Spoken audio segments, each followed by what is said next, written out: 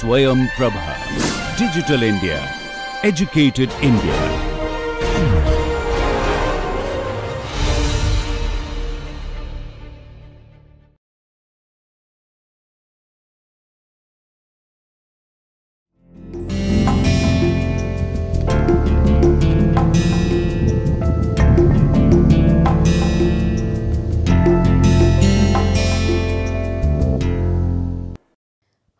Learners, welcome to this online course on legal language, legal including general English.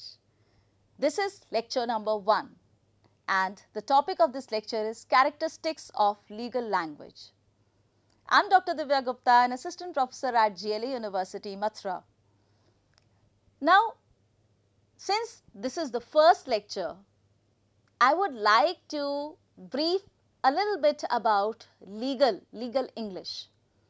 How is it different from a normal easygoing English language which general people used to do from other streams, other branches, no matter it be from medical sciences or engineering side or any other. So, how is it different from that regular routine English grammar, the writing skills and like what makes it more elevated.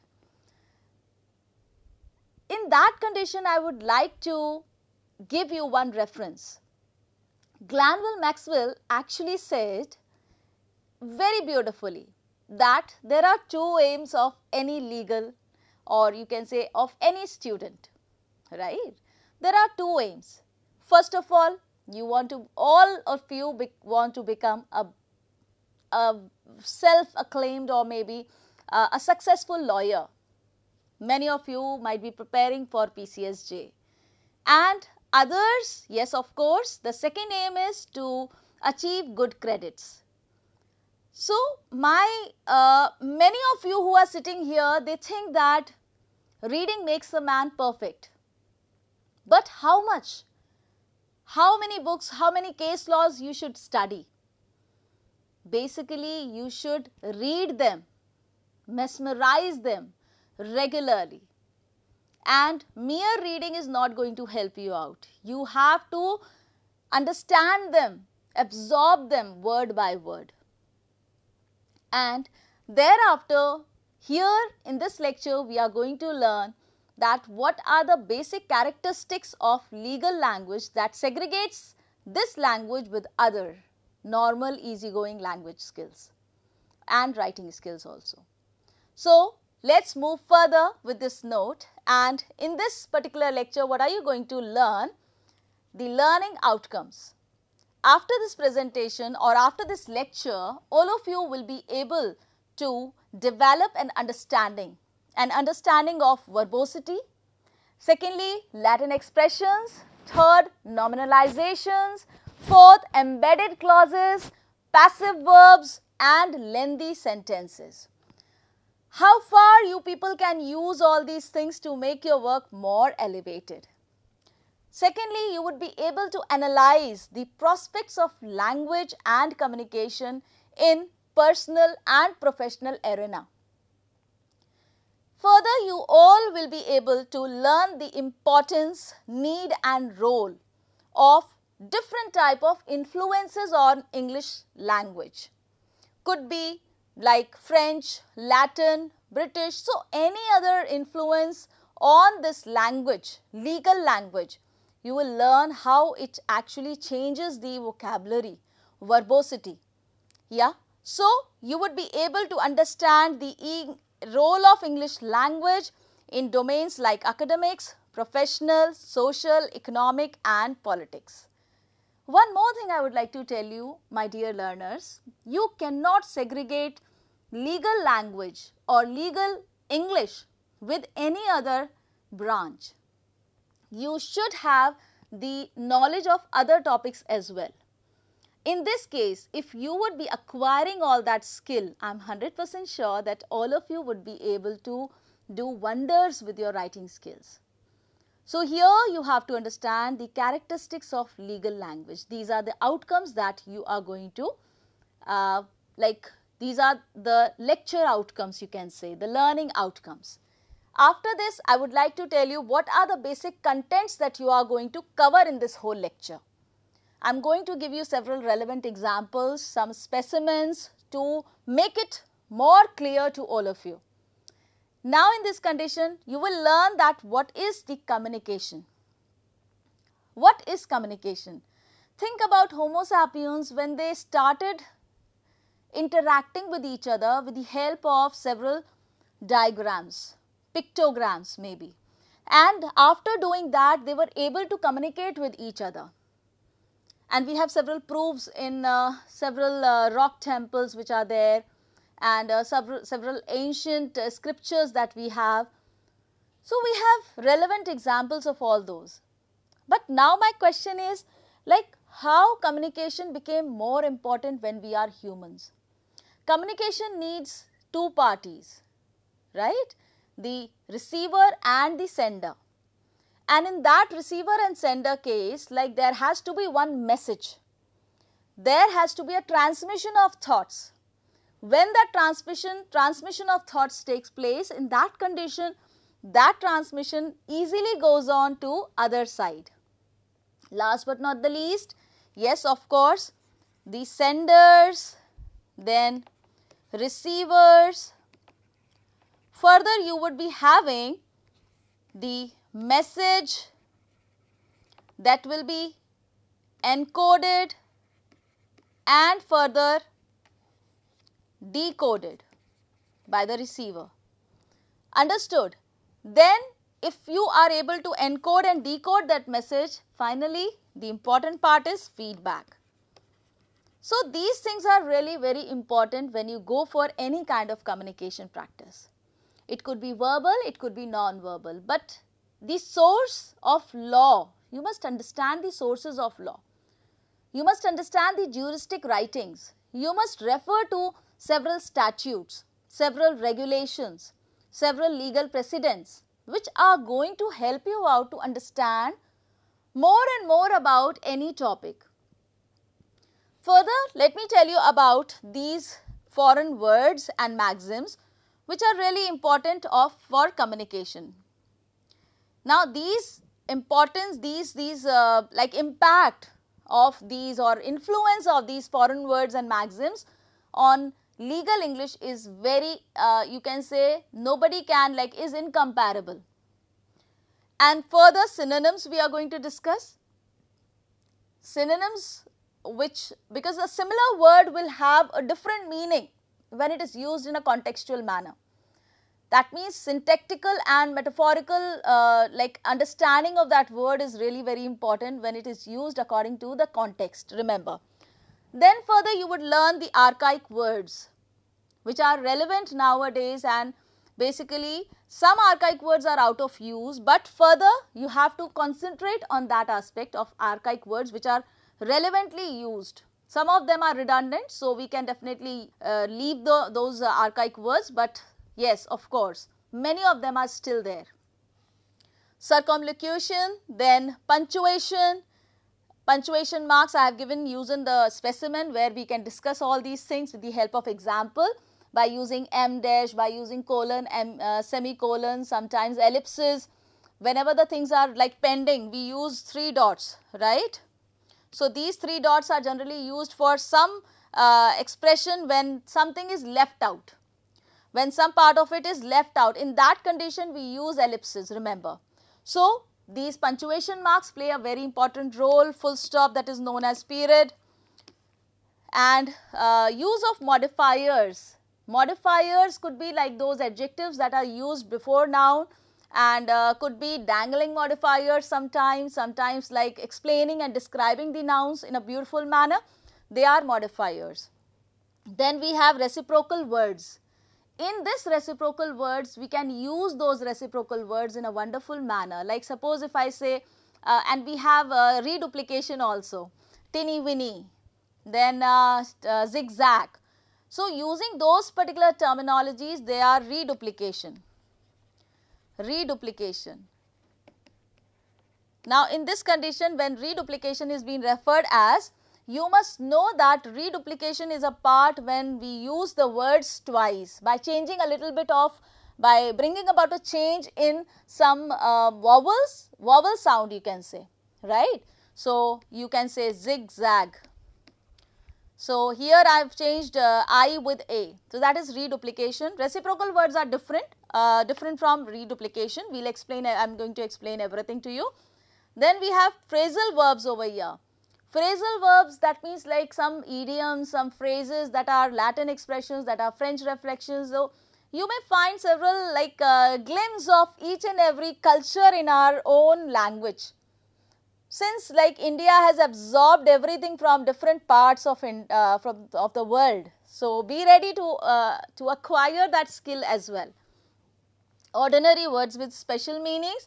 Yes, I told you that in when, when it, they are used in contextual meaning, they, the meaning changes. And uh, further sentence length we are going to discuss, uh, how much length we are going to take up. And then uh, for sentences, yes, of course, we are going to discuss something about functional uh, sentences and uh, second one is structural. When it comes to functional and structural uh, sentences, remember when functional that means which kind of function that sentence uh, plays or roles, uh, the role that this particular sentence plays. Sometimes it uh, orders, sometimes commands, sometimes informs something, sometimes it raises a question, so, they are functions interrogative, exclamatory, de declarative, assertive, negative, optative. So, these are functions and uh, further on the basis of structure yes of course we can discuss these things and uh, on the basis of structure a sentence could be divided into two parts and that two part is subject and predicate. In that subject and predicate what you have to remember is subject and the second one is predicate. In that portion you must remember that in predicate portion and in this particular thing we have phrases and clauses. So, I will explain all these things phrases and clauses that you people will understand what is the utility of these things and uh, yeah. So, please uh, be with me, uh, remain alert, aware and agile. If you are alive, show that you are alive, right. So, in that case uh, be with me and I am going to explain each and everything that is like a part of the characteristic features of legal language. Then we are going to talk about nominalizations and uh, after nominalizations we will talk about impersonal style. Impersonal style and capitalization wherever it is necessary we generally use impersonal style and uh, but most of the time formals, formal style of writing and uh, yes, of course, while talking about preamble writing and uh, different other uh, formal judicial or legal document, we use capital words. Capitalization is again a very important aspect of legal writing. Then doublets and triplets, they are also very much fine, so and so forth. So, doublets and triplets would be used in order to emphasize on certain things. We will come across with certain examples and uh, the usage of those words in our language legal language. So, be ready with us and uh, let us start with something that is we are going to discuss the introduction. Yes, of course, legal language consists of terminology, linguistic structure, linguistic conventions and punctuations. I discussed all these things before also that in our content section that these things are really very important when we talk about the characteristic features of of uh, legal language and then sometimes rich vocabulary becomes the root cause. What, uh, what, uh, what about rich vocabulary? Basically when we talk about rich vocabulary, it is all about dealing with certain things, certain phrases, maxims, legal uh, terminologies. So, all these things play a very important role when we talk about vocabulary and then it becomes the root cause of ambiguity. Now, many times it is said that why is it ambiguous? Look, I am uh, just trying to explain you something. Why are we going to discuss this ambiguity side? Tell me. Because using some verbs, using some verbosity in order to bring, bring ambiguity in the sentence because it opens up plethora of options to interpret the things in different manner right and most of the time it happens that people try to leave the work as as ambiguous so that they may definitely find some spaces or you can say some scope to interpret it in a different manner. That is sec second uh, opinion about being ambiguous, but multiple meaning and doubtfulness in the content actually lends some kind of ambiguity to the sentence. So, what is the use of being ambiguous many times? Because it allows a little bit of uh, scope to move further. Legal exper uh, experts led simplicity and clarity to its meaning. So, yes of course, legal experts when they come for this kind of uh, explanation, yes these things actually play a very important role. And in this condition remember that legal experts always lend simplicity and clarity to this expression because they have the perfect knowledge of all these things phrases, idioms, legal maxims. And, and above all they might be having about the knowledge about case laws, they might be knowing about the landmark cases, landmark cases and they might be knowing about recent cases. They are very important. They might be knowing about statutes which are relevant, then legal precedents. So, these things are really very important when we talk about legal experts like how can they how would they be able to actually bring about simplicity and clarity in legal documents so this is the introduction and then further we are going to move towards several impact on our legal language. The first thing that i would like to portray over here or exhibit over here is foreign influence. Foreign influence that is latin influence. That influence is actually uh, nowadays also prevalent in legal English. We cannot run away or go through without that legal or uh, Latin uh, influence on legal language, even Indian legal language. So, now let us see connection with history of Great Britain and legal traditions which is which is based on common law. Yes, of course, there is a like connection, connection of history of Great Britain and the legal tradition. So, they both are interconnected with each other that brings about a change in the whole scenario. Norman invasion actually it started, it uh, invaded, this invasion actually I, I should say initial, initial impact will come from this particular site. Normal in Norman invasion writing was done in French and Latin. So, that is the reason that we are like observing nowadays. It is the writings that are from French and Latin expressions. Further, we have 1066 that means 1066 AD Anglo-Norman French became the official language of England continued till 300 years. This is the important part. Why Anglo-Norman French actually became the official language of England and that is the reason why the whole thing changed, the whole scenario of the world changed actually. Remember that you should know that in 1066 Anglo-Norman French became the official language.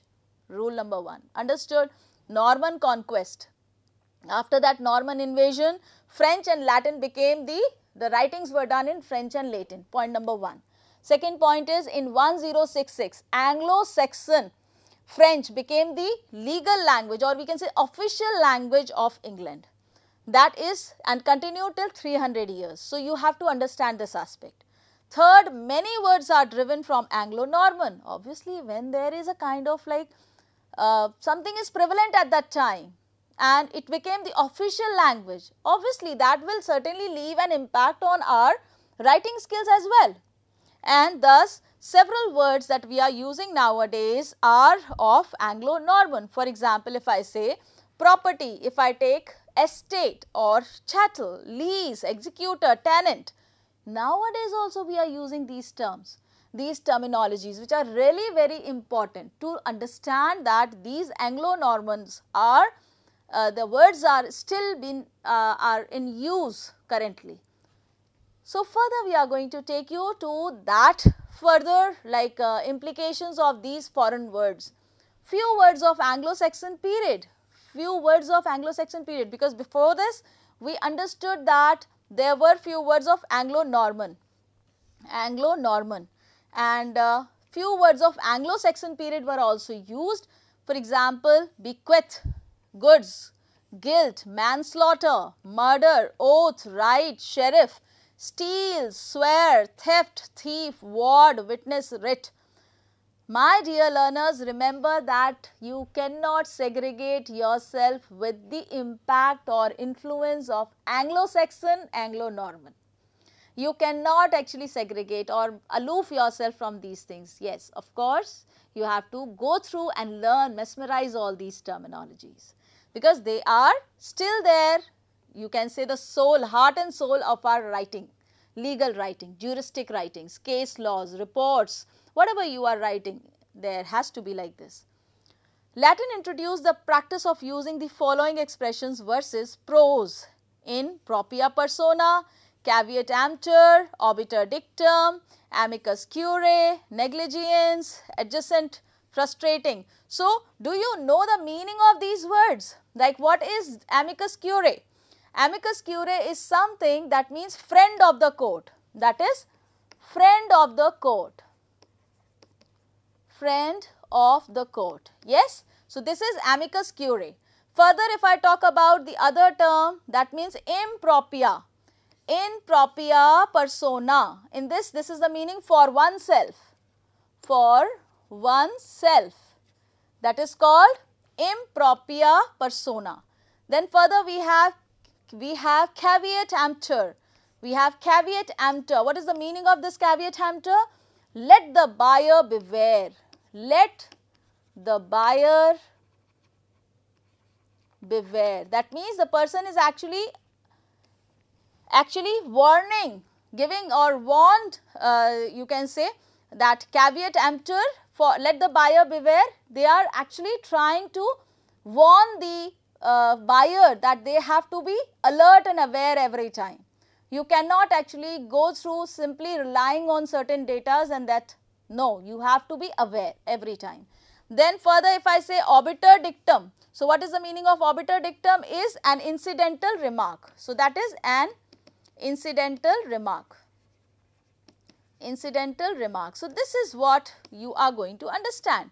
You need to learn each and everything otherwise things will become, become futile. Sitting over here and just uh, hearing it like a lecture will certainly would not give you uh, the knowledge that you actually want to acquire. So, believe me if you are going to learn all these Latin expressions maybe 5 Latin expressions daily. That would certainly help you out 5 into 365 days.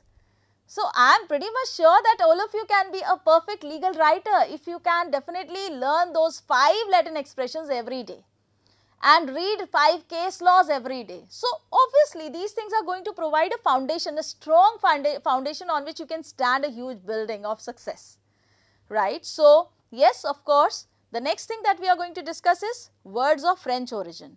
So, what are these words of French origin that we are going to discuss? That is appeal, attorney, claim, complain, counsel, court, damage, default, defendant, demurrer, evidence, indictment, judge, jury, justice party, plaintiff. What is plaintiff? Plaintiff is person who actually uh, files a complaint. That is plaintiff, plaintiff plea, sentence, sue, verdict, many words. Basically, it is it has originated. The mother branch is from French and Latin and that is the reason most of the words that we are using nowadays are from French and uh, Latin expressions are of French and Latin expressions and influence of Anglo-Saxon, Anglo-Norman with the starting of Norman conquest. With the starting of Norman conquest, for example, you can say the Norman invasion that I have explained earlier in my previous slide. So, further, yes, we, we are going to talk about the adjectives now. Adjectives are standing behind the nouns. Adjectives that, that are standing behind the nouns along with nouns these adjectives are standing and which they modify in phrases such as attorney general, now, in this condition attorney is, is your adjective.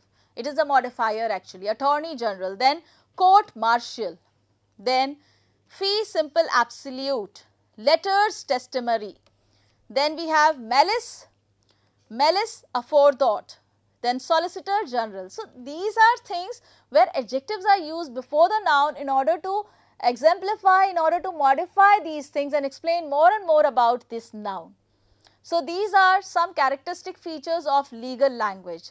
That means, first one is foreign influence and foreign influence on words and uh, verbosity by and terminologies by starting with Norman conquest and from that Norman invasion it moves towards Anglo-Saxon where which language became, became the official language. I would like to highlight this one that official language Norman Anglo-Norman French became the official language of England in 1066 which actually leave, left an indelible impact on this. Further we will talk about synonyms. Now how these synonyms are being used, synonymy.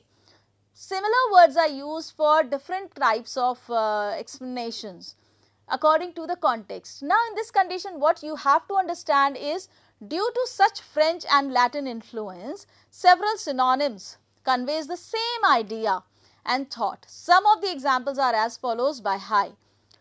Assign that means transfer, breach violation, clause provision, paragraph article, contract could be used for agreement, default failure, lessee tenant.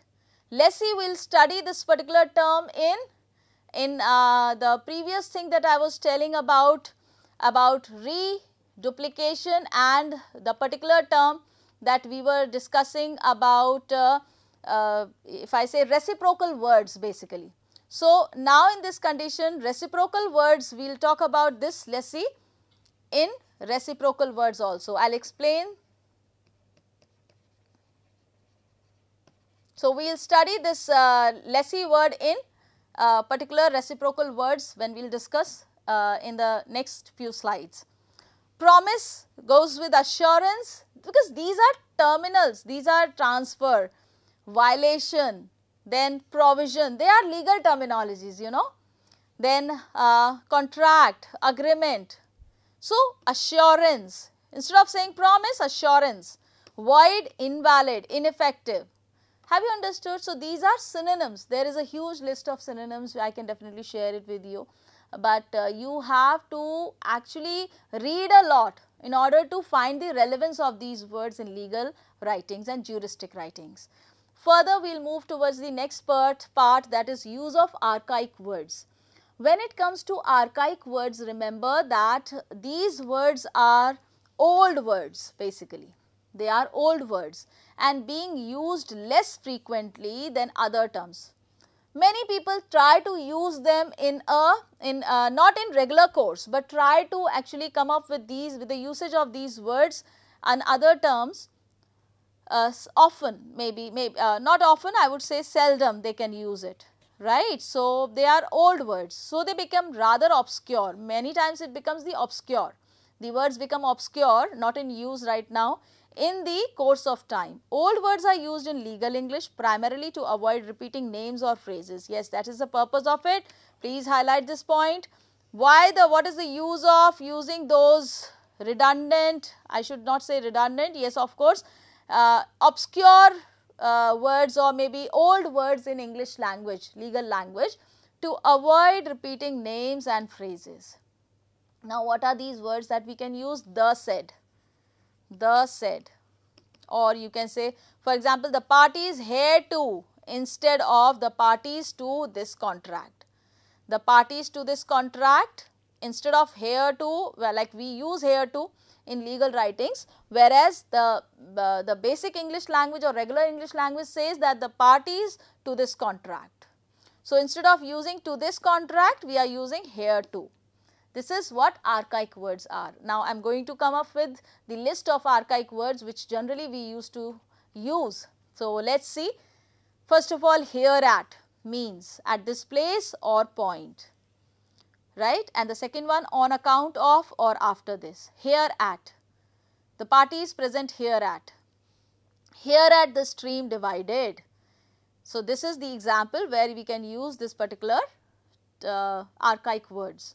Then hereby means by this means as a result of this for example the parties hereby declare the parties hereby declare now in this condition hereby is used by this means Further hereafter. Hereafter means from here, from now on, at same time in the future, from now on. Hereafter, for example, if I say hereafter I would be learning five archaic words or five uh, like case laws, I would be reading five case laws hereafter. So, hereafter is after this from now on.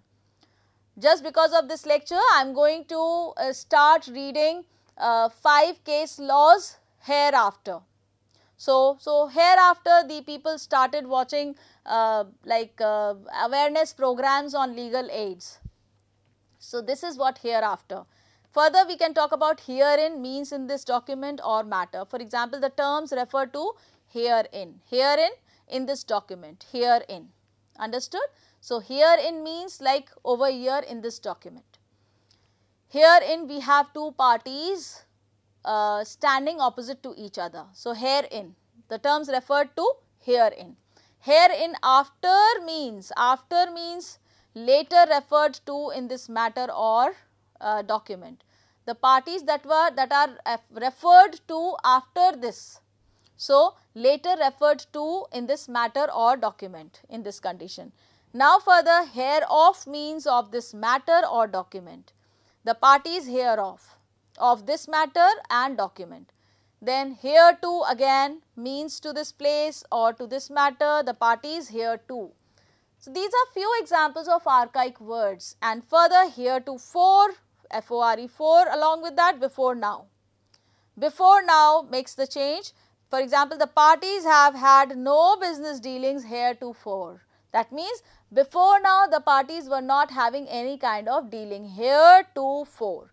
Remember here to heretofore is actually used for those things which are before now before now right so the parties have not no have no business dealings heretofore. That is used for expressing before now.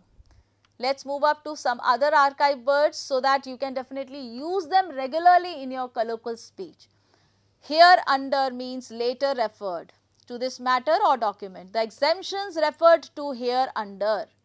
The exemptions, the exemptions, the referred to here under. Here under yeah. So, here under if, if I say uh, if I use this particular term as the exemptions referred to here under put a colon and after that you can definitely start writing A yeah uh, buy one get one free get one free scheme. Now, in this condition I am using this particular here under uh, just indicating it or you can say replacing it with aforementioned. So, herewith means with this letter or document I enclose here with the plan, I enclose here with the plan, right. So, herewith, uh, yes I enclose here with the plan whenever like in letters when we write. Most of the time in letters please find, find the enclosed documents herewith right. So, please find the enclosed documents herewith that means I enclose herewith the plan or you can use the I enclose herewith the uh, the the sometimes the plan, the CV for my job, sometimes my uh, attested attested documents.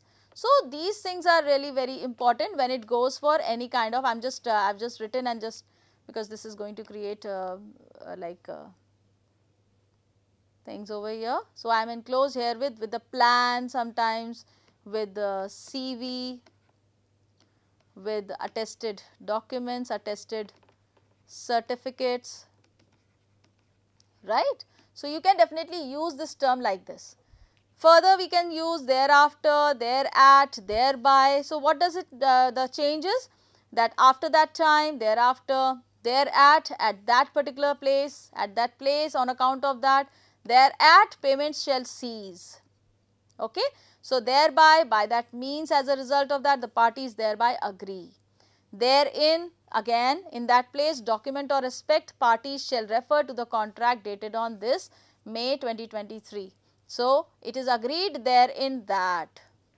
So, in that place basically these archaic words are used in legal writings or you can say juristic writings because without them you cannot frame any writing, any, any skill, any composition of uh, legal importance. Further we move towards further uh, new uh, topic that is circumlocution. Circumlocution comprises of two words. They are first one is circum. Circum means to circle. Yeah, circum and is to circle and loci to speak, right? Circum is to circle and loci is to speak. Okay. So, in that condition, so the circumlocution and essential characteristics of legal language simply means talking around, circumlocution. Fewer words are replaced with larger number of words to express an idea. So, that means circumlocution means a large words are used or replaced with a smaller words nowadays. Circumlocution, circum means circle and locution that is loci means to speak. That means that means talking around. And in that condition what are we going to learn in circumlocution? That which are these like four or five group of words that are uh, that are used in one in place of one word. And in that condition I am going to come up with that examples with those examples also what uh, generally we used to do in our uh, regular speech. So, let us start. That is circumlocuted expressions adequate number of can be used as enough. Modern equivalents okay? Then at that time when? When? Further at that particular time then. At a later date because usually in uh, old english old latin english or uh, you can say legal english if not latin yes old legal english we generally use these terms these uh, circumlocuted expressions and in that condition we have to understand that these things are really very important. And then uh, as a consequence of yes as a consequence of late uh, later for later date and as a consequences of because. During such time as while for the duration of during in the event that if in close proximity then until such time until Reason being that because similar to like near. So, we have certain terms where we can definitely understand these particular thing properly. Instead of using 4 5 group of words, we use one word. So, in old English, legal English, circumlocuted expressions, whereas in modern equivalents, we use these particular terms. Is that clear everyone, my dear learners? So, this is what when we talk about the characteristic features of legal English, yes, these things are really very important. Then further we move towards punctuation. Now, when it comes to punctuation mark, this seems really very simple, very easy. But without punctuation, would you be able to make sense of anything? No. No, my dear learners, you would not be able to understand and learn anything in that condition because this thing provides a kind of life to your work. And add one more feather to your understanding also. Like if some words are given i am going to come up with some paragraph also some on legal uh, like uh, maybe sometimes like a case law.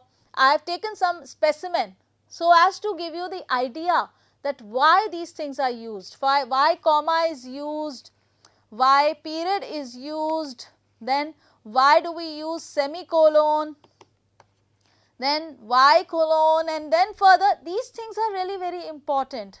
Why are we going to use inverted commas, inverted commas then further what is the use of uh, em dash. So, you must actually know the usage of these terms otherwise your words without comma, without full stop, without capitalization you would not be able to make sense of any legal, any juristic writings. So, punctuation is used insufficiently particularly in conveyances and deeds. We can observe the conspicuous absence of punctuation and in modern legal drafting basically in modern legal drafting punctuation is used to clarify the meaning. I told you without comma without full stop. You would not be without capitalization. You would not be able to make sense. You will not be able to make sense. This is really very important when it comes to this part. So, punctuation plays a very important role. Now, I am going to give you one specimen. Two specimen basically from which you are going to learn how these uh, inverted commas, how these uh, quotes play an important role along with the other punctuative marks. Let us see. Now study this one in the look at this inverted commas because this thing has been taken from somewhere and that is the reason I am just using the exact words for quotation therefore quotes are used right? And in these quotes remember that whenever these quotes are there quotation marks are here, there for direct and for direct quote. If I say for direct quote we use this or whenever the book title of the book title of the book is there then we use this these codes remember.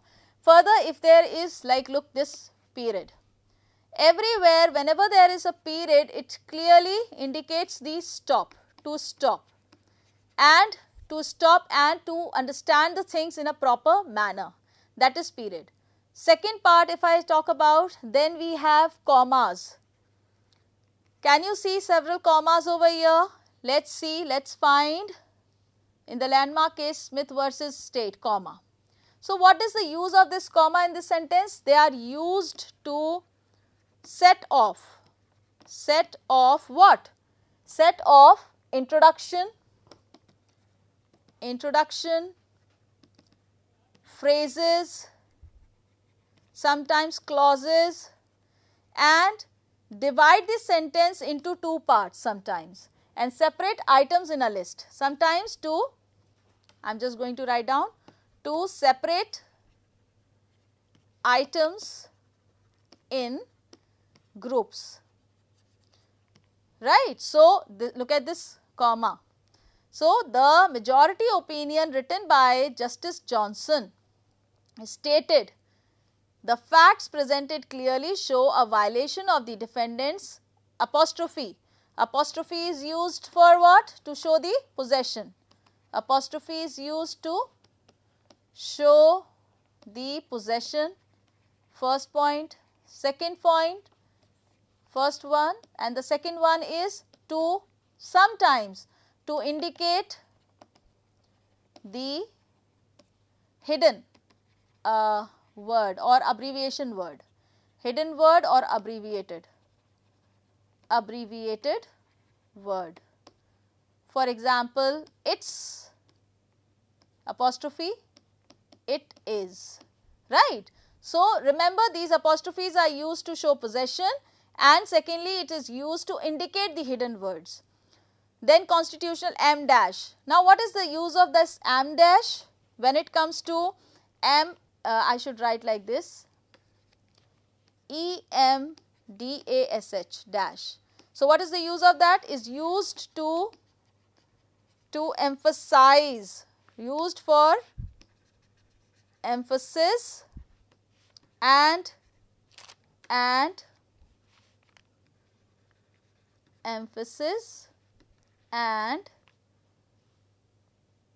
to set of a clause within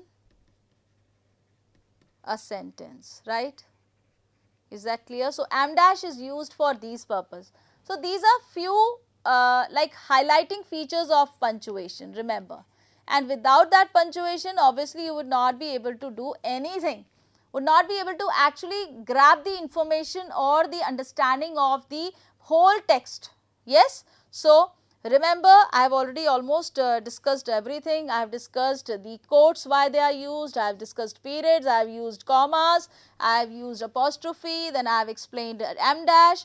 So, many other uh, words are used. Many other like uh, punctuation marks are used to to bring about the exact meaning of those words in a sentence right. So, let us move further to the next passage where you yourself will find out what is the utility of these punctuations.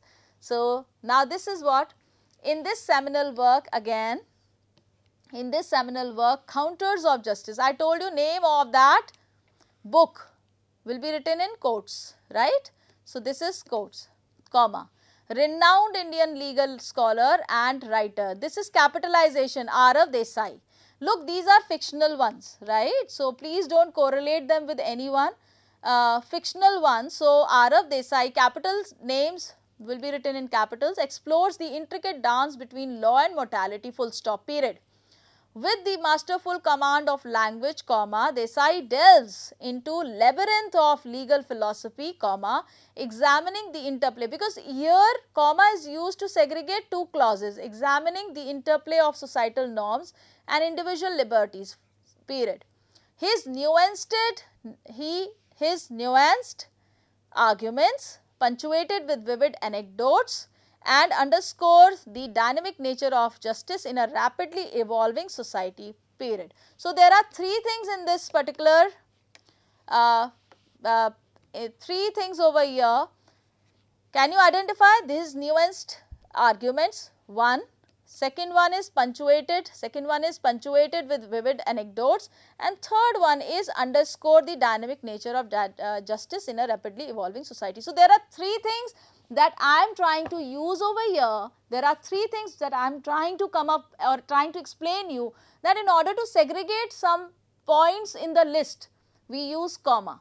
So, this is a live example where you can understand again capitalization in the beginning of a sentence through a series of eloquently crafted essays, comma, since you are trying to come up with certain kind of explanations, explanations that through this example, comma, I am going to explain these things.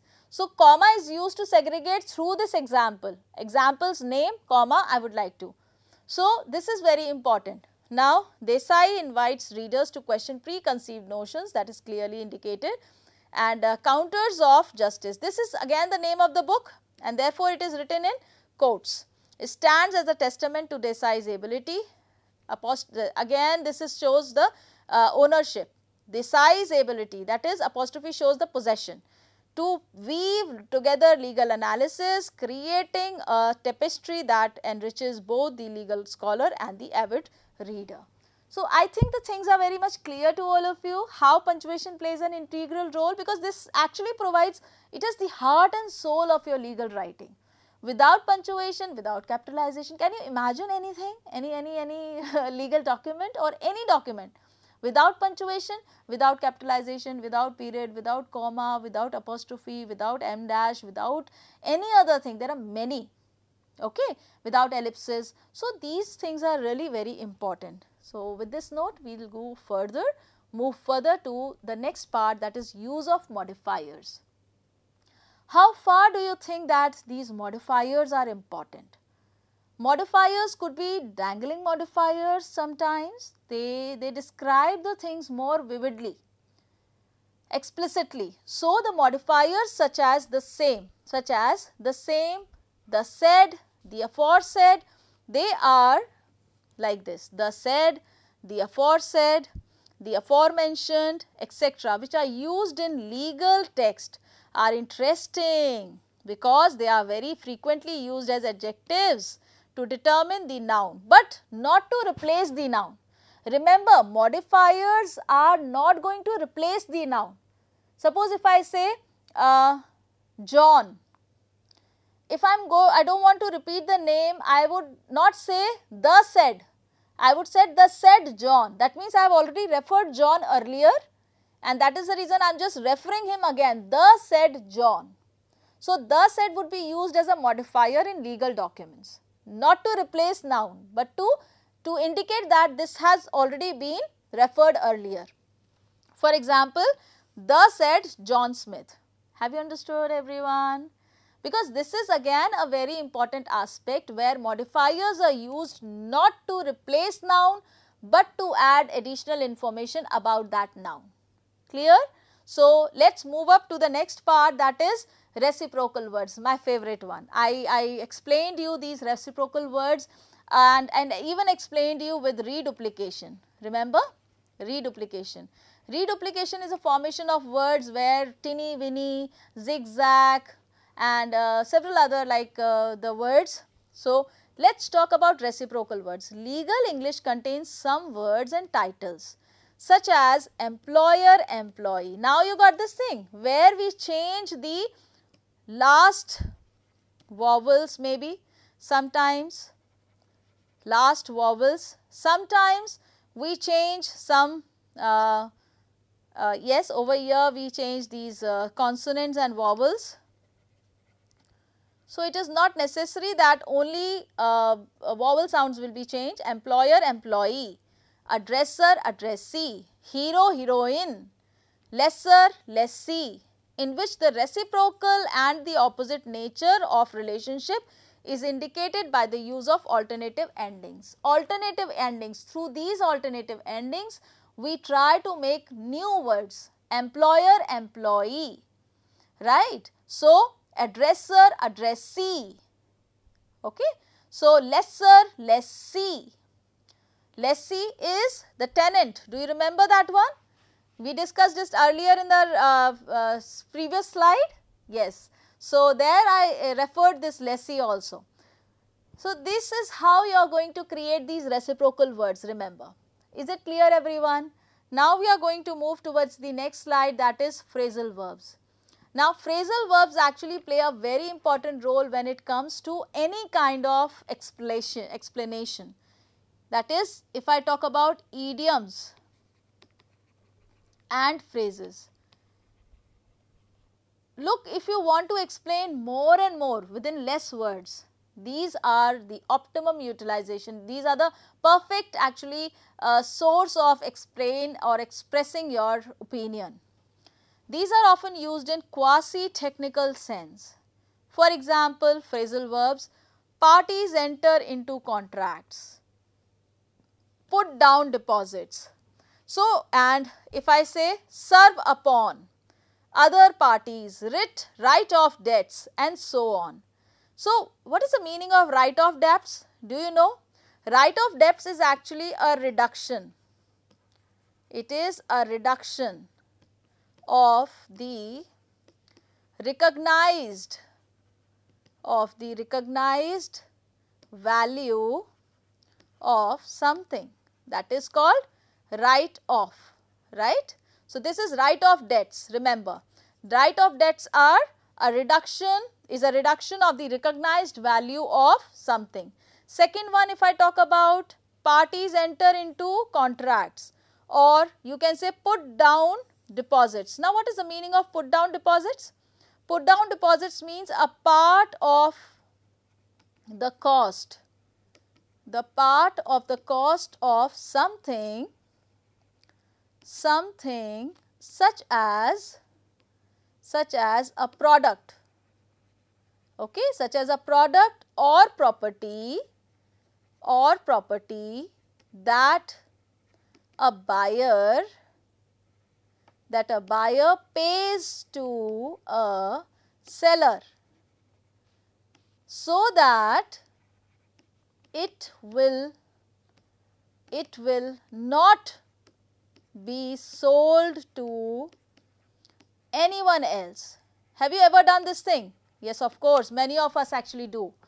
Basically, when we talk about put down deposits, put down deposits is something, some amount of money that we give to the seller so that he would not sell the product to somebody else.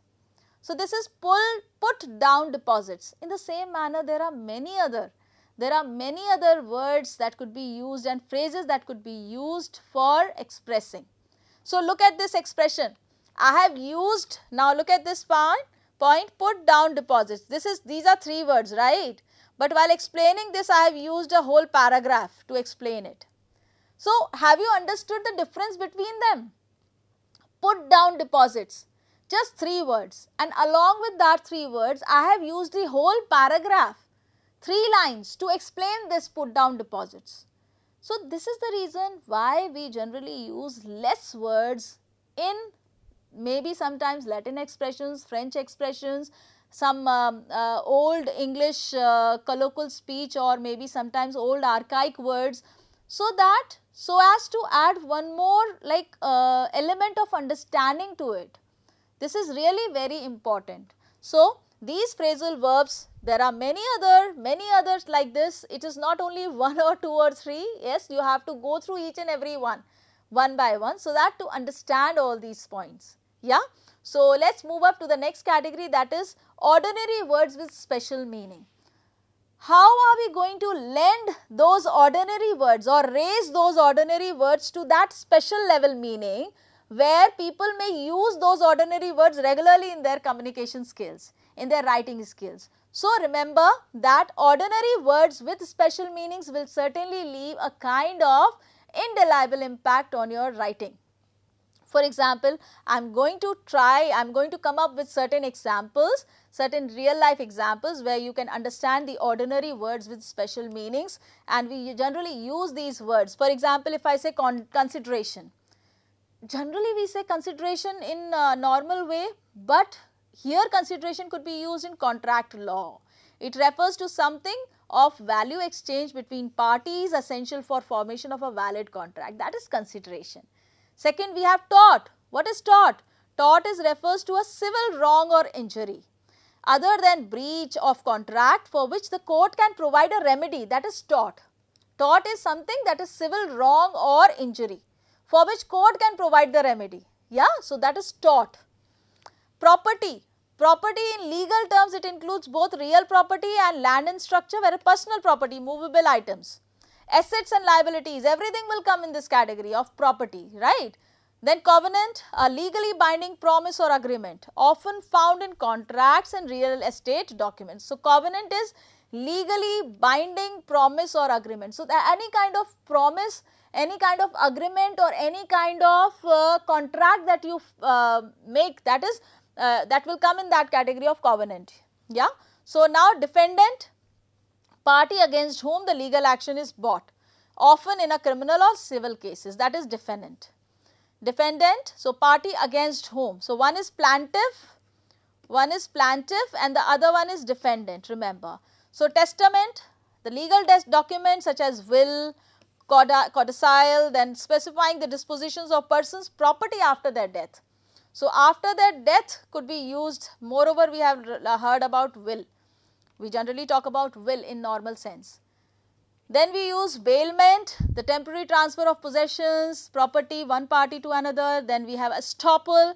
Estoppel means the legal principle that prevents a person from asserting a fact inconsistent so, in these terms we there are many so and so forth many many uh, phrases many clauses like this where we can spend a lot of time. But the final thing is that you have to understand how these things are important. So, quid pro quo then inter alia, inter alia is among other things. So, these things are really very important. Now, sentence length could be decided on the basis of your understanding. I told you in my uh, almost maybe like uh, in the later uh, lectures I would be explaining about the sentence length also that how the sentence length could be decided on the basis of your learning aspect and what is the requirement of your purpose.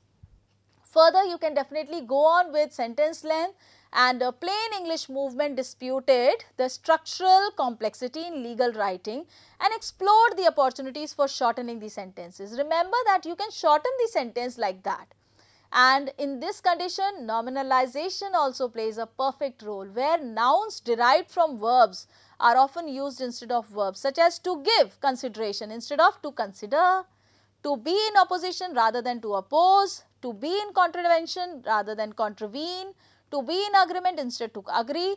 So, these nouns nominalizations are used as lawyers do not to say to arbitrate so, many nominalizations are used in order to explain the uh, words in a proper manner in order to give consideration to consider. So, this is what we generally use in legal English. Impersonal style is again a very important thing because a formal written words are used. Now, in this condition use passive voice every time. Then along with that legal drafters use passive third person singular and plural nouns should be pronouns should be used that means he himself she herself they them you then that means like third person pronoun would be used and last but not the least everybody everyone every person is used when a provision applies to all everyone is equal over here so Remember, these are capitalizations. This is again a very important one. Our preamble, this is a live example of using extensive use of capital words in legal English. You can definitely go through these capitalization things where this is really very important. Last but not the least, doublets and triplets where we use these words lands and ten tenements, will and testament. So, that means we are using the words English French, English Latin, English French, English French. So, these are doublets and triplets remember and these are the th things that we generally try to use every now and then. Will and testament, breaking and entering, fit and proper, let and hindrance, have and hold. So, this is a combination of two things English and French sometimes sometimes English and Latin. So, these are doublets and triplets another feature of Latin English. So, bread and butter, fast and furious, chalk and talk, many words are English and French, remember. So, they are and examples of triplets also healthy, wealthy, wise. Here they are everywhere, give, devise, bequest. So, remember use of doublets and triplets in your English legal language. So, at the end I would like to say that with this note you all will definitely be able to draft on a perfect manner with precision, clarity, formality and rigorous work is required along with using those technical terminologies every time, consistency and stability. You must talk about lack of redundant words, yeah, because all these words are old now. If they are usable then definitely of course you can do on, but uh, if you can change them with a new version, yes of course you are already invited and uh, like uh, uh, you are given that chance to change the uh, system. Ambiguity of or interpretation, yes you would, should work on that ambiguity part, use of prescribed forms which are given for each kind of legal writing, authority and gravity is also required. Along with that influence and um, like historical and foreign elements. So, with this note I think these are the references that I have referred throughout my lectures. And uh, you can definitely go through these books and uh, find yourself much convenient and uh, perfect platform to build up your uh, communication skills and your writing skills while going on with law reports, with case reports, with statutes, with juristic writings. So, with this note, I am Dr. Divya Gupta signing off for now. Maybe tomorrow in our next lecture, we would be certainly discussing about the history, the history of legal language in India. And uh, basically, yeah, be prepared, keep agile and active all the time everyone right. Thank you. This is Divya Gupta signing off for now.